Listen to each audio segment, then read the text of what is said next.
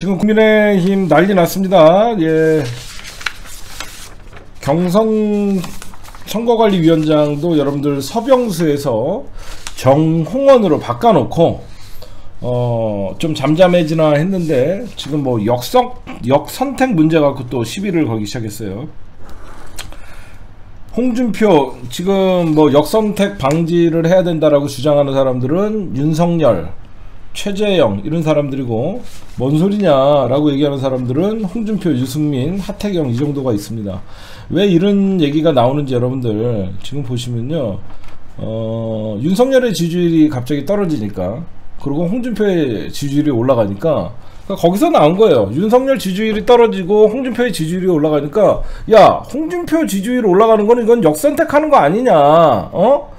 그렇기 때문에 이거 역선택 방지 장치를 해야 된다라고 얘기를 하고 어 지금 윤석열 캠프나 최재형 캠프에서 지금 그렇게 주장을 하는 거고 지금 유승민이나 홍준표 입장에서는 경준이 저기 지금 민주당 경준이를 통과하고 여기저기서 당내 그 의총에서 통과한 통과한 거를 응? 어, 선거관리위원회에서 그걸 바꾸는 게 말이 되냐라고 하면서 이제 격하게 맞서고 있는 거고 유승민은 경선률에 토시 하나 바꾸지 말라. 어, 지금 이제 갈등이 시작된 거예요. 음? 그래서 처음에는 국민의힘 경선준비위원장 서병수를 날리고 그 다음에 정홍원을 했는데 지금 유승민과 홍준표의 입장은 어, 윤석열 대통령 만들기 위해서 그 지금 모든 걸 바꾸는 거 아니냐. 그래서 이거는 어, 그 절대 용납할 수 없다. 뭐 하나도 건드리지 마라라고 얘기하는 거고 정홍 정홍원 전 그 국무총리자 그 박근혜 정부에서 국무총리였죠. 무능력의 화신이죠, 이 사람. 세월호 때 국무총리. 경선률을 전면 검토하겠다라고 하니까 경선판 깨질 것이다 라고 경고를 했습니다.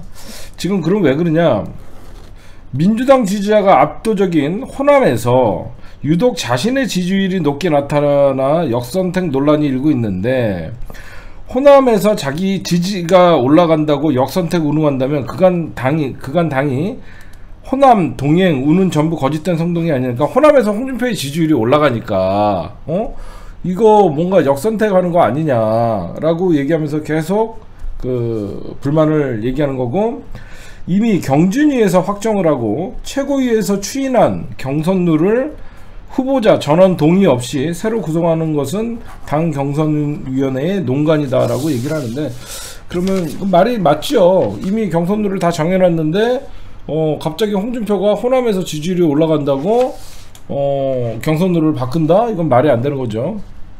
그래서 지금 여러분들 보시면 그러면 왜 홍준표의 지지율이 올라가나를 좀 봐야 되겠죠.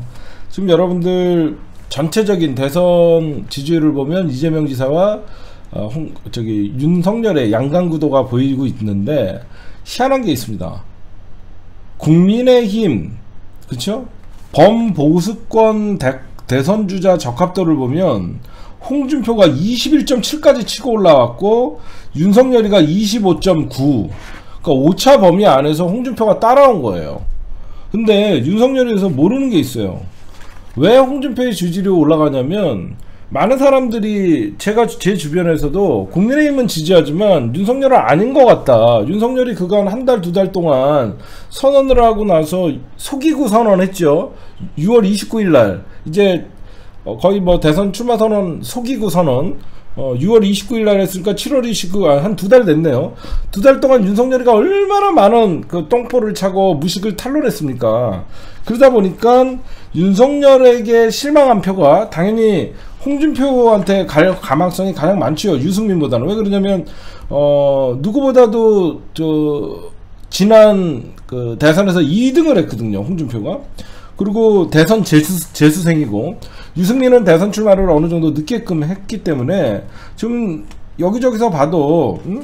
관심을 홍준표에게 쏠고 있는 것으로 보이고 그 당내에서 윤 전 총장에게 실망한 인사들이 홍 의원에게 기대를 걸고 있고 진짜로 홍준표의 캠프에 속속 합류하는 사람들도 많고 지금 윤석열 같은 경우는 잇따란 실언, 무식함 나오고 정책적 미입 그리고 제일 중요한 게 제가 이거는 제가 분석하는 거는 어, 디서 보냐면요. 홍준표의 지지율이 가장 올라간 제 개인적인 분석은 어, 당 대표와 윤석열의 갈등이라고 봐요. 전 그렇죠? 당 대표와 윤석열의 갈등이 사실상 국민의힘 지지율이 떨어지고 굉장히 시끄러웠었잖아요. 그러면서 윤석열이 캠프에서 어, 이준석을 공격을 했잖아요. 윤석열 캠프에서 이준석과 계속 갈등이 있는데 윤석열은 어떻게 보면 20대, 20, 30대 젊은 층에서 지지를 받으면서 국민의당의 당대표가 됐거든요. 그런 어, 이준석을 흔들지 말라고 홍준표가 지원 사격을 하면서 이준석을 지지했던 주, 어, 젊은 표가 홍준표를 지지하는 그런 상황이 저는 펼쳐졌다고 저는 생각을 합니다. 그래서 어, 이준석과 윤석열의 갈등의 반사익을 홍준표가 봤다. 저는 그렇게 좀 분석하는 게 맞지 않을까라는 어, 생각을 합니다. 그래서 지금 의외로 그 20, 30대 젊은 지지층에서 이준석 효과라고 했던 그 효과가 어, 윤석열 캠프와의 갈등이 결국은 홍준표로 갔다. 저는 그렇게 예, 보면 될 것 같습니다. 그러면 홍준표 의원은 자기가 호남에서 높은 지지율이 왜 나오냐? 지지층 확장이다 이거는. 뭐 광주 전남 우리 그다음에 거부감이 있어. 그러니까 저런 게 있어요. 여러분들에게 좀 그 뭐 제 생각인지 모르겠지만 민주당 전통적인 민주당 지지자 안에서 특히 호남 지지자들도 있지만 가장 민주당의 지분이 많은 호남 지지자들도 있지만 국민의힘의 거부감은 심하지만 홍준표에 대한 거부감은 좀 덜한 게 있어요 사람들이. 희한하더라고요. 그렇죠 국민의힘의 거부감은 막 100에 치다든다고 얘기하면 홍준표의 거부감은 한 60? 그나마 말이 통하는 사람이 홍준표 그런 느낌들이 좀 있거든요. 그러다 보니까 어, 처음에는 윤석열이 뭐 중도 외연 저는 윤석열이 국민의힘에 들어가는 순간 홍진표에게는 기회가 온 거거든요. 윤석열이 계속 밖에 있었다 그러면 어떤 중도표나 어, 탈 진보의 표들은 윤석열이 갖고 갈 수가 있었는데 본인이 중원을 포기하고 사실상 국민의힘으로 들어가면서 어, 홍준표와 윤석열이의 그 대결 구도가 돼버리니까 그렇죠? 대결 구도가 되게 돼버리는데 두 달 동안 윤석열이 하는 짓들을 보면 사람들이 아저뭐 저런 사람 진짜 대통령 되면 안 되겠다 이런 생각을 하거든요. 그래서 때로는 홍준표가 자기 당을 향해서 쓴 소리도 하고 뭐 일단은 국민의힘 중에서 그래도 말이 통하는 정치인, 거부감이 좀 덜한 정치인은 요금 먹더라도 홍준표가 윤석열보다는 낫기 때문에 윤석열로 아니 홍준표로 지지율이 좀 올라간 게 아닌가라는 얘기를 하는데 많은 사람들이 홍준표에서 홍준표 국민의당의 어떤 윤석열 캠프는 어 이거는 어, 호남에서 홍준표의 지지율이 올라가는 거는 이거 역선택이다. 응? 역선택 때문에 그런다라고 하면서 당, 당장 경선룰을 바꾼다라고 하면서 지금 일촉즉발의 상황이 나오는 것이고 그 이거는 또 정홍원이가 들어와서 경선 룰을 바꿀 경우에는 제가 보면 국민의힘 경선 룰 자체가 망가집니다. 깨질 수밖에 없어요. 유승민이는 유승민이나 홍준표가 가만히 있겠냐고. 어? 그래서 여러분들이 그 그런 게 좀 있지 않을까. 예, 이게 다 유시민, 예, 우리 유시민 전 장관이 누구보다도 대선 끝나고 나서 홍카콜라, 어, 그리고 정치합시다를 통해서 어, 홍준표를 살려놨던 어, 유시민 전 장관의 해안이 아닌가.